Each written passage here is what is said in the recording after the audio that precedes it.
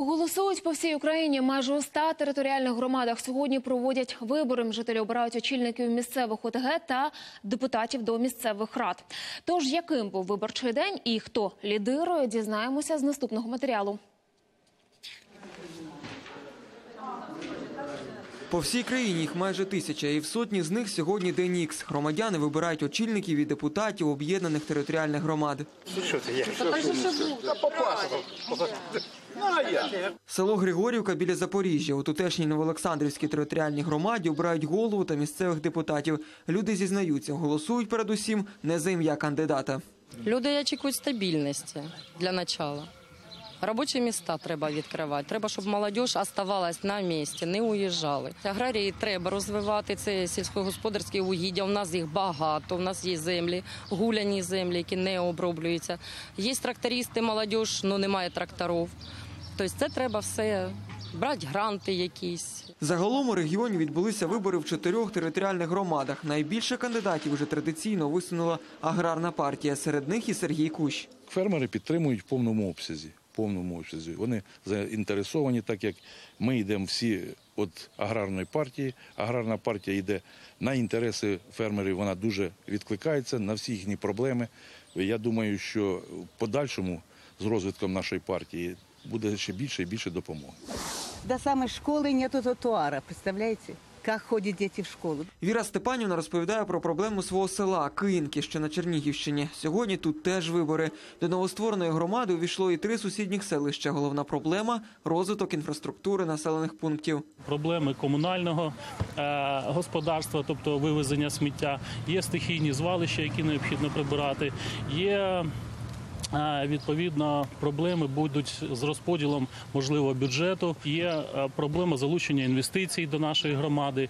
Є проблема е, в нових робочих місць.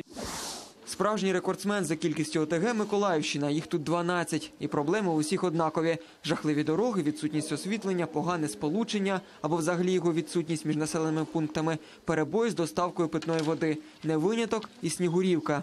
Ну я завжди голосую, бо ну це, це потрібно для нас, для нас, для снігурічан. Олександр Клепач сьогодні очолює районну організацію аграрної партії України та займається фермерством. Тому проблему села знає добре. Чоловік вирішив відстоювати інтереси громади у новоствореній Горохівській ОТГ. Таке об'єднання, на думку Олександра Клепача, дасть змогу збільшити бюджет і можливості громади щонайменше у 5-6 разів. Нам дадуть надходження до наших до нашого бюджету в ОТГ е, вели- велику е, суму е, коштів, які раніше ми сплачували в райони, в, в, в областя.